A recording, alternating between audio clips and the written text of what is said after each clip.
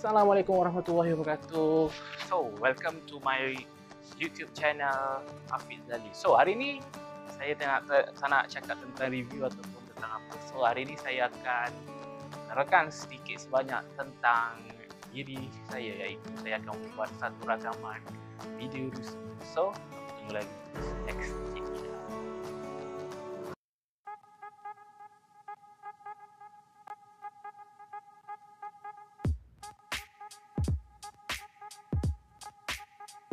Assalamualaikum warahmatullahi wabarakatuh. So, seperti yang saya cakap, saya akan meng, meng membicarakan tentang video review saya. So, apa tunggu lagi? So, latar belakang saya. Saya uh, uh, bernama Muhammad Afiq bin Zali. Uh, lahir pada 30 hari bulan 4 1997 di Johor Bahru. So, saya tinggal pun di Johor Bahru. Saya mempunyai dua orang adik-beradik dan saya adalah nombor dua.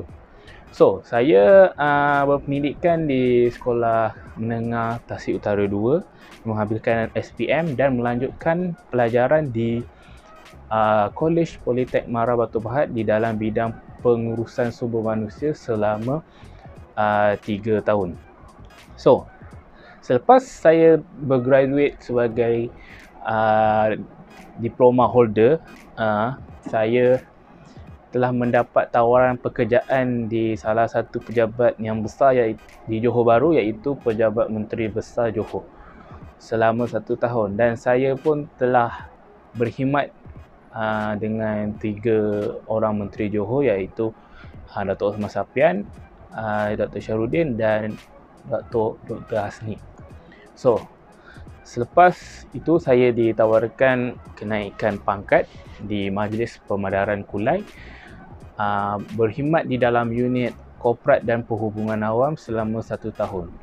So, pengalaman kerja ini, uh, pengalaman kerja saya adalah sangat luas. So, pada masa sekarang ni, uh, saya melihat saya mempunyai beberapa kemahiran yang boleh uh, untuk company ataupun agensi lain menawarkan saya untuk bekerja iaitu uh, di dalam Microsoft Word, Excel dan PowerPoint saya telah uh, master dengan benda tu. So saya punya kelebihan yang lain saya boleh untuk edit gambar uh, di Photoshop dan membuat poster ataupun banner di uh, Adobe Illustrator dan saya juga boleh membuat satu rakaman video pendek panjang korporat ataupun video untuk marketing ataupun sebagainya kerana saya mempunyai sedikit kemahiran dan pembelajaran ketika saya bekerja di Majlis Penaharan Pelai. So, selain itu juga saya juga boleh me- membuat photoshoot iaitu mer- mengambil gambar dengan uh, cantik dan merasakan uh, unik dalam gambar tu. Saya juga mempunyai pengalaman mengambil gambar uh, bersama orang-orang korporat, orang-orang agensi kerajaan di luar sana ataupun mahu-mahu maupun macam operasi banjir pada tahun lepas di kota yang mana Majlis Pembenaran Kulai uh, mewakilkan saya untuk mengambil gambar situasi keadaan semasa di sana. So, apa yang saya boleh cakap di dalam video ni saya mengatakan bahawa uh, jika uh, syarikat ataupun uh, kementerian uh, di dalam agensi kerajaan mengambil saya adalah tidak adalah tidak rugi untuk mengambil saya untuk bekerja dengan mereka. Kerana saya mempunyai selain itu saya juga mempunyai kelebihan iaitu saya akan menyiapkan kerja dengan awal. Saya adalah seorang yang punctual maksudnya masuk pejabat dengan menempati masa. Dan juga saya tidak mempunyai apa-apa uh, orang kata masalah untuk datang bekerja kerana saya juga selalu membuat check up. So uh, saya tidak ada masalah kesihatan untuk buat masa ini.